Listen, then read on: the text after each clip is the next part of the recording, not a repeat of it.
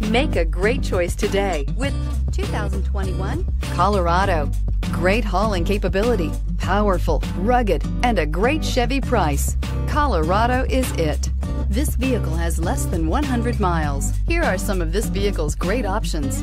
Sliding rear window, tire pressure monitor, four-wheel drive, tow hitch, bed liner, heated mirrors, aluminum wheels, remote engine start, traction control, stability control. This beauty is sure to make you the talk of the neighborhood. So call or drop in for a test drive today.